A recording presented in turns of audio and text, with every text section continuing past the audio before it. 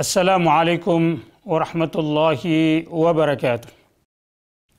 إن الحمد لله نحمده ونستعينه ونستغفره ونعوذ بالله من شرور أنفسنا وسيئات أعمالنا. من يهده الله فلا مضل له ومن يضلل فلا هادي له. وأشهد أن لا إله إلا الله وحده لا شريك له وأشهد أن محمدا عبده ورسوله صلى الله عليه وعلى آله وأصحابه وسلم. يا أيها الذين آمنوا اتقوا الله حق تقاته ولا تموتن إلا وأنتم مسلمون. يا أيها الناس اتقوا ربكم الذي خلقكم من نفس واحدة وخلق منها زوجها وبث منهما رجالا كثيرا ونساء. واتقوا الله الذي تساءلون به والأرحام. إن الله كان عليكم رقيبا. يا أيها الذين آمنوا اتقوا الله وقولوا قولا سديدا. يصلح لكم أعمالكم ويغفر لكم ذنوبكم ومن يطع الله ورسوله فقد فاز فوزا عظيما. أما بعد وتسماجي وتو wapendwa watukufu tunawakaribisheni kwa moyo mkunjufu kabisa na uso wa bashasha. Tuwe pamoja katika kipindi hiki chenu haiba ya mwislamu kuanzia mwanzo kwa muda huu mfupi mchache mpaka hatima yake mpaka mwishowe. Msibanduke wala msibadilishe mitambo. Katika kikao kipindi kilichotangulia tulikuwa tunazungumzia sifa miongoni mwa sifa ya mwislamu akiwa ametangamana amejumuika na wenziwe nduguze marafikize. Na hii ni kwamba mwislamu huyu anakuwa pamoja na hawa samhun afuun anhum ni mvumilivu na msamehevu mno kwa wenzake. Na tukawa ni wenye kumalizia kusema ya kwamba hakika chuki haina sehemu kabisa katika moyo wa mwislamu mwenye hisia nyepesi mwenye hisia laini. Mtambuzi wa mwongozo na mwelekeo mwelekezo wa dini yake ambaye ambaye imevama ndani yake yani, yani ana yani ile shauku yake iko ndani kwa sababu yeye anaweza kufahamu na kudiriki ya kwamba kuna ile thamani ya kusamehe na kuwa na moyo ambao ni msafi na fi katika msamaha wa allah kama alivyobaini mtumi wa allah salllahu alaihi wasallam katika kauli yake na tukasema hadithi hii ambayo imenukuliwa na imam albukhari katika aladab almufrad ni hadithi iliyo dhaifu. Lakini inasema watatu ambao hawatakuwa mambo matatu ikiwa hutakuwa nayo basi allah atakusamehea mengine yoyote mbali na hayo. Yule ambaye atakuwa ameaga dunia hajamshirikisha allah na chochote. Yule ambaye si mchawi wala hafuati uchawi na yule ambaye hawi ni mwenye kuwa na chuki na nduguye. Kisha tukaingia katika kipengele kingine ya kwamba yalqahum biwajhin taliq. Yal anakutana nao nduguze marafikize kwa uso wa furaha kwa uso wa bashasha kwa uso ulio mzuri uliofunuka uliong'aa. Na hii ni kwamba ni hakika ina ni sawa kwa mwislamu inatakiwa hivyo kwa mwislamu Baada yote hayo ni kwamba mwislamu anatakiwa awe msafi katika, katika nia yake, katika ndani yake, na vile vile awe sa, msafi wa moyo wake, vile vile awe na uso wa bashasha, awe vile vile hawi ni mwenye kuwa na chuki ya ndani kwa muda mrefu, awe mtulivu yani. Kisha awe na utulivu, amani ya uso, hakutani na nduguye isipokuwa ni mchangamfu, mwenye furaha, awe ni mwenye tabasamu kama alivyotutakia, kama alivyotuelezea Mtumi wa Allah sallallahu alaihi wasallam kwa kauli yake, msiwe ni mwe, wenye kudharau jambo la maarufu jema lolote lile litakavyokuwa hata kama ni kukutana na ndugu yako kwa uso wenye bashasha, kwa uso wenye furaha. Na hii ni hadithi ambayo imenukuliwa na Imam Muslim katika sahihi yake. Kwa hivyo furaha na bashasha ya uso ni tabia nzuri ambayo imehimizwa na Uislamu. Na ikajaaliwa Uislamu ukajaalia tabia hii ni miongoni mwa amali njema ambazo zinampatia mwenye kuwa nayo thawabu na ujira, kwa sababu uso wa bashasha, uso ulio uh, uh, uso safi ni kioo cha moyo ulio msafi wa mwanadamu. Uso unapokuwa na furaha inaonyesha ya kwamba ni kioo cha kutizama kule ndani, pia kuna furaha kule ndani, pia kusalama kule ndani, pia kusafi. Na huu usafi wa dhahiri na ule wa ndani ni miongoni mwa, mwa, mwa maadili ya Uislamu yaliyo wazi wadhih, yani yaliyo wazi kwa Waislamu walio wa kweli. Na hapa ndipo miongoni mwa uongofu mwongozo wa Mtumi mtukufu sallallahu alaihi wasallam, kutabasamu kwa uso wa ndugu yako ni sadaka. Hadithi ya abi Dharri radhiallahu anhu, hadithi ambayo imenukuliwa na Imam Tirmidhi na akasema ni hadith hasan, na vile vile ikanukuliwa na Ibni hiban Ibni Adi Almundhiri na iko ni sahihi kama ilivyo katika Sahihi Aljami. Kwa hivyo Mtumi wa Allah salllahu alaihi wasallam alikuwa daima ana uso wa bashasha anapokutana na masahaba zake uso wake na macho yake hayatakuwa ni yenye kukutana na macho na uso wa sahaba wake radhiyallahu anhum wa ardhahum, isipokuwa alitabasamu. Na hii ni ile tunavyopata katika hadithi ambayo imepokewa na sahaba mtukufu Jarir bin Abdillahi al-Bajali radhiyallahu anhu, hadithi ambayo imenukuliwa na Imam albukhari na Imam Muslim ya kwamba mtumi wa Allah sallallahu alaihi wasallam hakunizuia kuanzia nisilimu na wala hakukutana na mimi isipokuwa alikuwa na tabasamu. Hapa ndipo tulipokomea katika kikao au kipindi kilichotangulia. Leo tuko katika kipindi mia mbili na ishirini na tunang'oa nanga kutoka ile sehemu ambayo tumeachia. Na tumeachia wapi? Tumeachia ya kwamba na miongoni mwa hadithi ni ile athar, ni yale maneno ambayo yamenukuliwa kutoka kwa Ali bin Abi Talib radhiyallahu anhu, ambayo amesema idha jtamaa almuslimani fatadhakara ghafara llahu liabashihima wajha Wanapokutana Waislamu wawili, umekutana na mwenzako, umekutana na ndugu yako. Ali bin Abi Talib anatuambia radhiyallahu anhu, wakawa ni wenye kukumbushana, huyu akakumbusha huyu na huyu akakumbusha huyu basi Allah subhanahu wa ta'ala anamsamehe zaidi yule ambaye alikuwa na bashasha na furaha zaidi na uso wa tabasamu kuliko mwenziwe.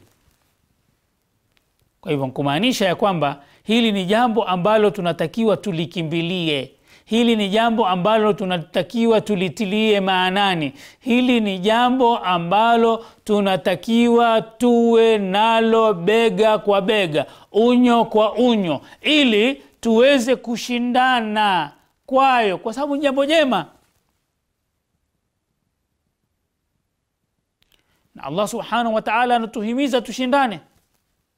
Wasariu ila maghfira na kimbilieni shindane, shindaneni katika msamaha unaotoka kwa allah subhanahu wa taala. Pia shindaneni katika kheri fastabiku lkhairat shindaneni katika mambo ya kheri katika mambo ambayo ni mazuri. Na hili ni katika jambo ambalo ni jema jambo ambalo ni zuri ambalo linatuita sisi tuwe ni wenye kushindania kwayo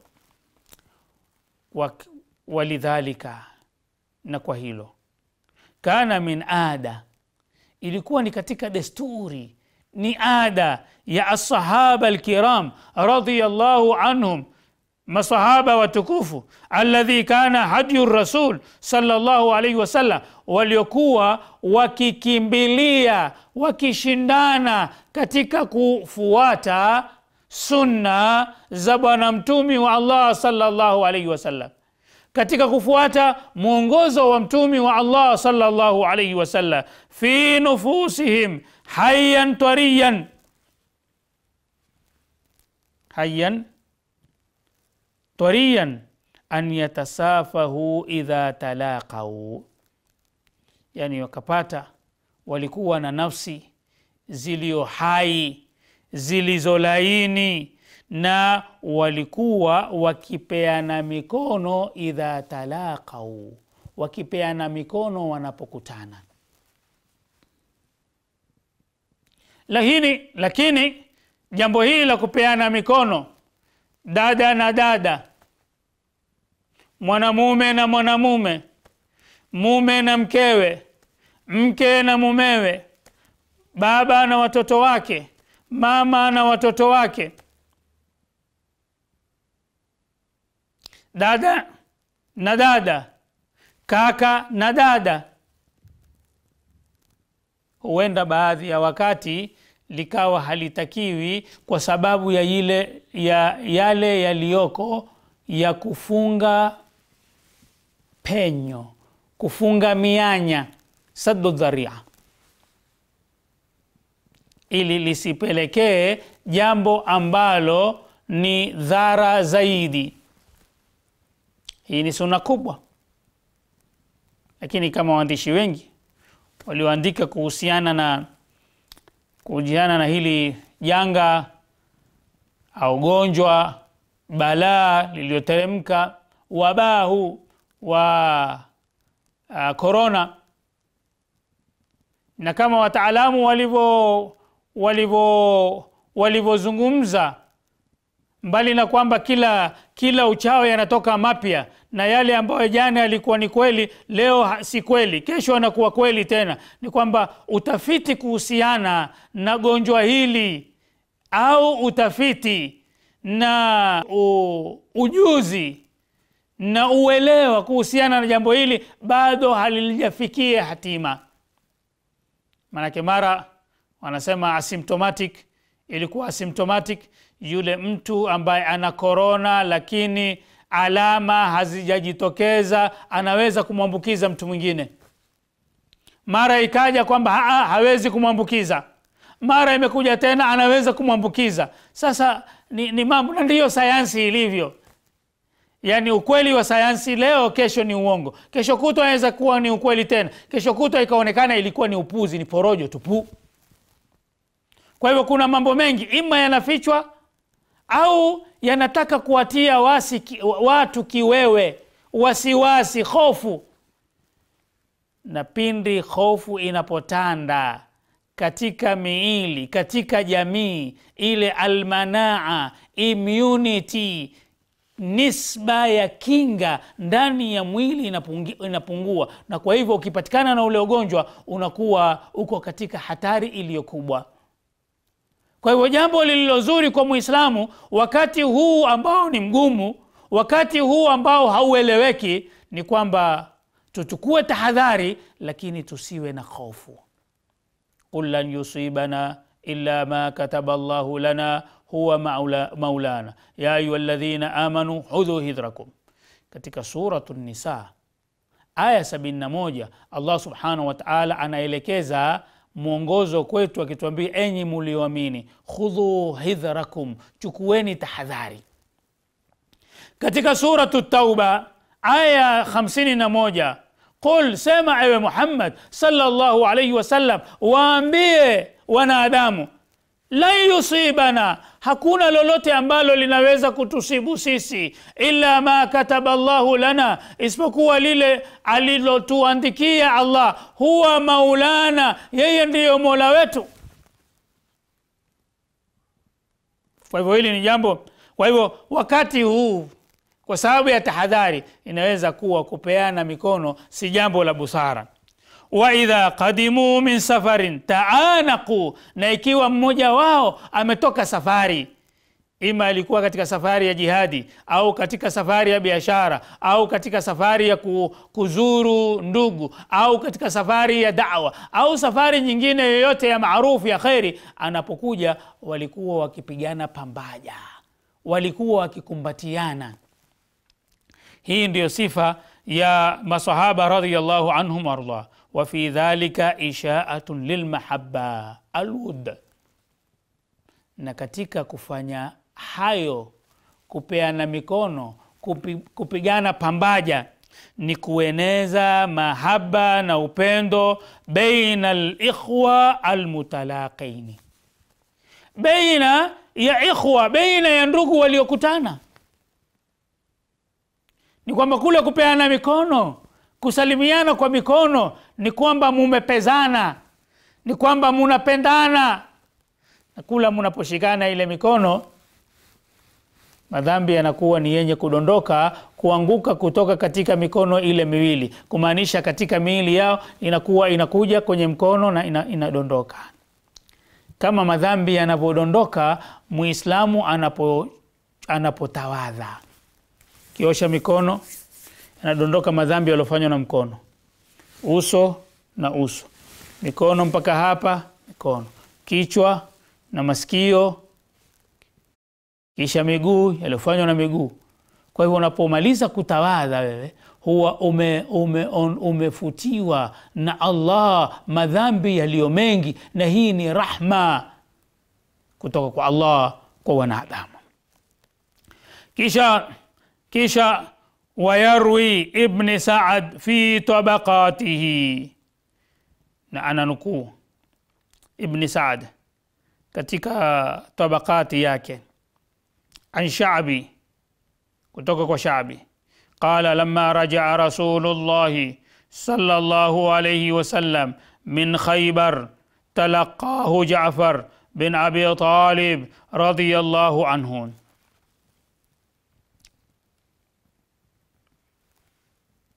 Tunajua khaibar vita vya khaibar vilipiganwa baada ya mtumi muhammad salllahu alaihi wasallam kufanya sulhu katika mwaka wa sita dhulqaada dhulhija mwaka wa sita baada hijra kufanya sulhu na makureishi wa makka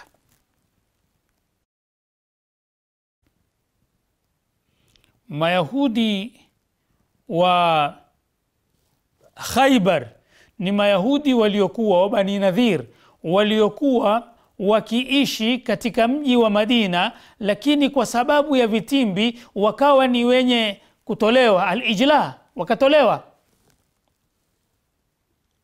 Mpaka allah subhanahu wa taala katika suratu uh, sura ya sura ya hamsini na tisa ambayo ibni abbas anaita banu nadhir.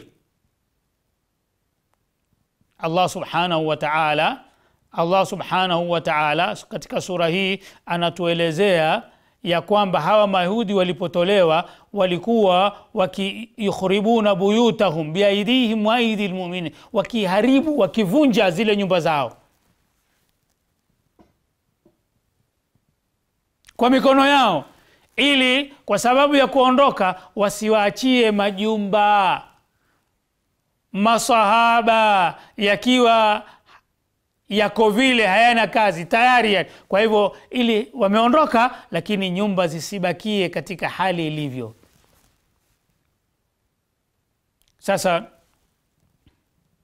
Khaibar, hawa Bani Nadhir walipofukuzwa Madina, walielekea wakakaa na ndugu zao wengine ambao walikuwa Khaibar. Khaibar ilikuwa ni kitongoji au ilikuwa ni mji ambao ni wa ukulima kwa sababu bado walipokuwa Khaibar walikuwa wanafanya vitimbi. Baada ya sulhu Hudaibia mwaka wa sita, mwanzo wa mwaka wa saba, Mtume Muhammad sallallahu alaihi wasallam akatoka, akatoka na jeshi kwenda kupambana na Mayahudi walioko Khaibar, na huo ndio wakati mwaka wa saba wa yeye kutuma barua kwa viongozi wafalme, masultani, maamiri, magavana wa ulimwengu, kama kapeleka barua kwa Herakl au Heraklius, mfalme wa Roma, mfalme wa rumi. Na ilikuwa dola ya, ya, ya Warumi ilikuwa imeenea mpaka bilada Sham. Kapeleka barua kwa Kisra ambaye alikuwa ni mtukufu mfalme wa Iran na pasia Uajemi zamani. Kapeleka barua Oman, akapeleka barua kwa mukaukis ambaye alikuwa ni gavana wa, wa, wa Misri, akapeleka barua kwa mfalme wa Ethiopia na akapeleka barua sehemu nyingine. Sasa hii barua iliyopelekwa kwa mfalme wa Habasha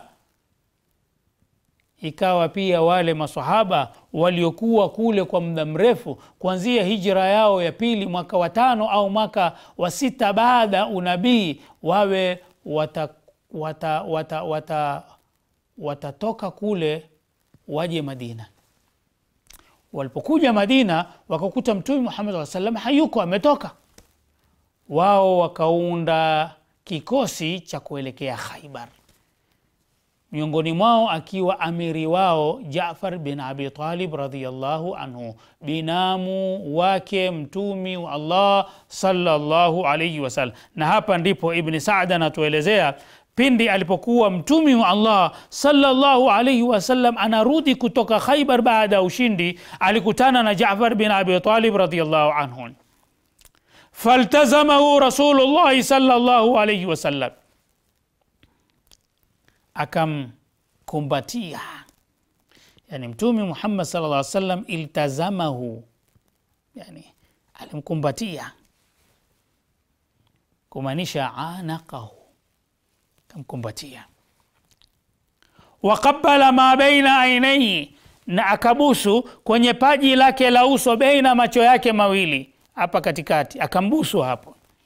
Waqala ma adri, kisha akasema sijui mimi biayihima ana afrah, kwa lipi ni furahi zaidi, kwa sababu kulikuwa na mambo mawili. Kulikuwa tayari ametoka Khaibar akiwa ameshinda, na huku anakutana na binamu yake ambaye alikuwa amemchagua amiri alipokuwa anakwenda na wale Waislamu mia na mbili au mia na moja au mia na tatu kwa riwaya tofauti za wanahistoria waliotoka katika hijra ya pili kuelekea Uhabeshi, na sasa wamerudi, wengi wao, si wote, wengi wao wamerudi Madina na wameelekea kukutana naye eh, Khaibar. Kuna mambo mawili hapa, kuna mambo ya ushindi ya kuwashinda Mayahudi na kuna jambo la kukutana na sahaba wake na kipenzi chake na vile vile binamu yake. Kwa hivyo ndo anataja biqudumi Jafari au bifathi Khaibar. Ni furahi kwa lipi zaidi miongoni mwa mambo haya mawili, kwa ujio wa Jafar, kwa kuja kwa Jafar radhiyallahu anhu wa arda, au kwa ufunguzi kwa kuteka Khaibar. Wazada fi riwayatin ukhra, na Ibni Saad akawa ni mwenye kuongeza katika riwaya nyingine, wadhammahu ilaihi watanakahu, na akamkumbatia zaidi, kumbatia kwa shauku, kumkumbatia, yani akamleta karibu na akamkumbatia. Laqad hababa lislam ifsha salam, Uislamu umetupendekezea kueneza salamu, salamu za kutakiana amani, salamu za kutikiana rahma, salamu za kutakiana baraka kutoka kwa nani? Kutoka kwa Allah muumba wetu. Kwa hivyo, walmusafaha walmuanaka, walmuanaka yani kutoleana salamu kusalimiana kwa mikono na kukumbatiana. عند تلاقي الإخوة بندي ونبكتان ندوغو بندي ونبكتان ندوغو لتبقى أسباب الود بين القلوب معقودة الأواصر إلي بكية كبكية نيني Kubakie litabqa asbabu lud. Zile sababu za upendo zibakie, beina lqulubu beina ya nyoyo, maquda, zilizofungana. Kimafungamano, zilizofungana zile awasir, kwa yale mahusiano, kufungamana kimahusiano, walitazdad washaiji lukhuwa, na ili iweze kuzidi kuongezeka yale mafungamano, zile washaiji, zile bonds. Eh, mafungamano ya undugu beina lmuminina salaba wa quwa, nguvu na nguvu.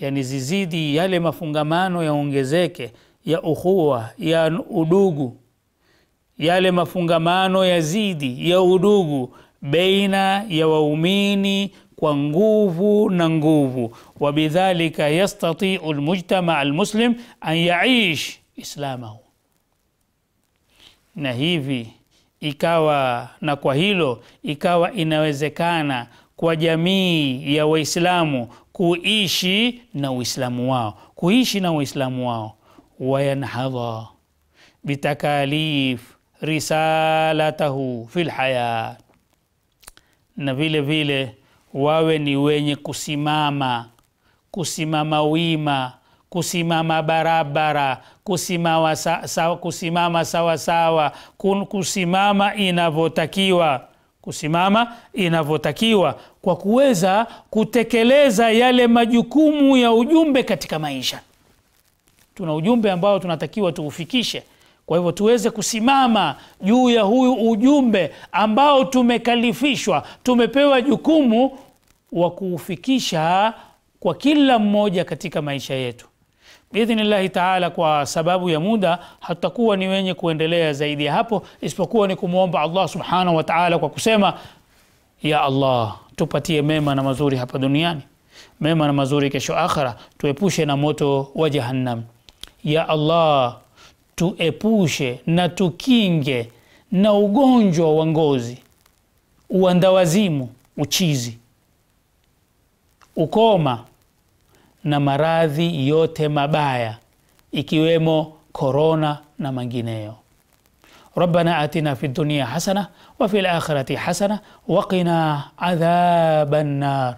allahuma inna naudhu bika min albaras والجنون والجذام ومن سيء الأسقام. مبكى سيكو نجينة وكاتي نساء كما يليو كتوكا كويتو نكسيما سبحانك اللهم وبحمدك أشهد أن لا إله إلا أنت أستغفرك وأتوب إليك والسلام عليكم ورحمة الله وبركاته